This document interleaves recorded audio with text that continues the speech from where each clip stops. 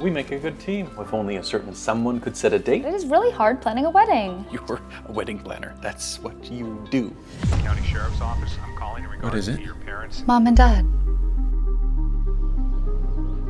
Oh my god, he actually came. I didn't know you had a brother. I don't remember much about him. This is my fiance, Olivia. I'm seeing Michael later. Nervous? About seeing my brother after a decade of radio silence. Yeah.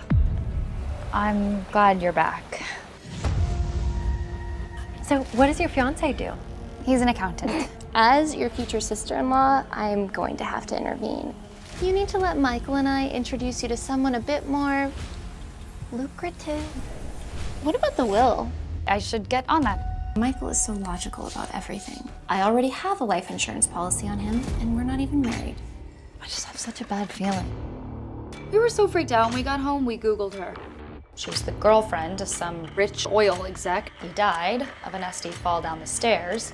There was talk that she pushed him. Everything okay? No, no, no, it's it's not. You get everything. Michael gets nothing. What? You are just as entitled to half that estate as she is.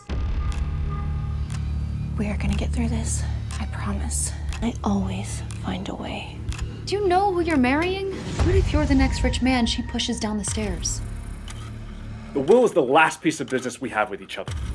I don't know what you think you know about I'm me. just trying to protect my brother. As far as the business goes, I'd like a report of its earnings.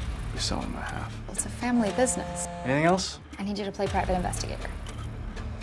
What's happening? Mia? Olivia, that's the woman who did this. You ruined my life!